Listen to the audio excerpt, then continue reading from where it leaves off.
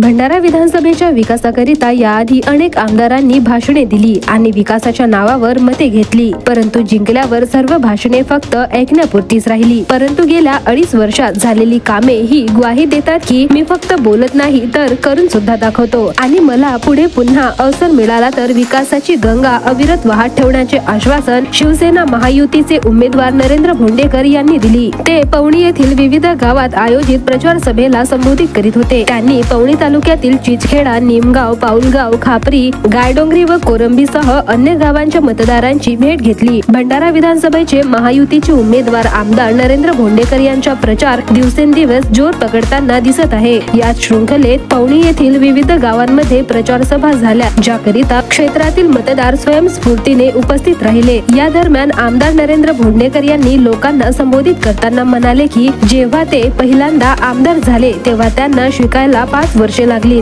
परंतु भंडारा पवनी क्षेत्राचा विकास करणे हा त्यांचा लक्ष होता. नशिबाने ते दोन हजार चौदाच्या निवडणुकीत जिंकू शकले नाही आणि त्यांचे स्वप्न अपूर्ण राहिले. परंतु दोन हजार एकोणीसच्या निवडणुकीत मतदारांनी साथ दिली आणि माझे स्वप्न पूर्ण करण्याची संधी हाती लागली आणि संधीचं सोनं केलं. आज भंडारा येथे तेहतीस असे मोठे प्रोजेक्ट मंजूर झाले आहेत की पुढील काही काळात भंडाराचा चेहरा मोहरा बदलणार आहे आणि यांचे नाव जागतिक पातळीवर जाणार आहे. आज विकासाच्या दिशेने वाटचाल करणारे सरकार म्हणून राज्यातील महायुती सरकारची ओळख निर्माण झालेली आहे. ही प्रगतीची प्रक्रिया अखंडित राहावी यासाठी महायुती शासन पुन्हा राज्यात येणे आवश्यक आहे. त्यामुळे भंडारा विधानसभा मतदारसंघातून महायुतीच्या उमेदवाराला म्हणजेच मला आपल्या खंबीर सामर्थ्याची गरज आहे असे आमदार नरेंद्र भोंडेकर यांनी सांगितले.